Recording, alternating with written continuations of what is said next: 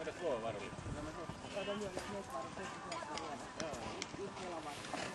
Numerolla 21, Porvoon Mustania edustava Jasmin Laakus, Ratsun Lampinakko Laada, on seuraavaksi radalla valmistautuvat ratsukas numero 22 Linda Kauppinen Emmeliina ja numero 23 Lotta Sinisalo Paramoolta.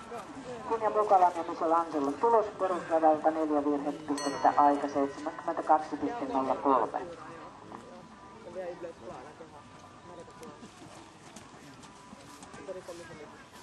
Gracias.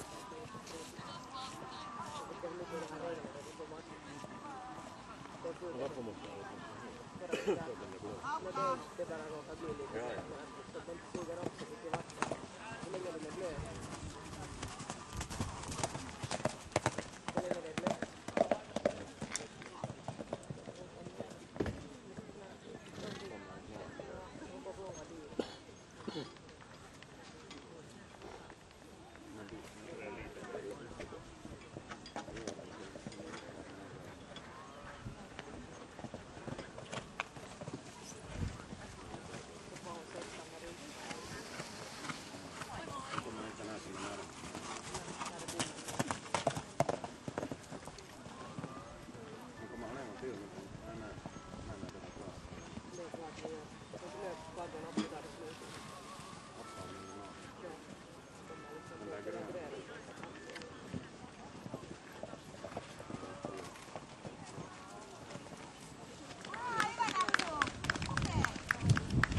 Numerolla 22 Linda Kauppinen ja Emmeliina numerot urheiluratsastajista on radalla valmistautuvat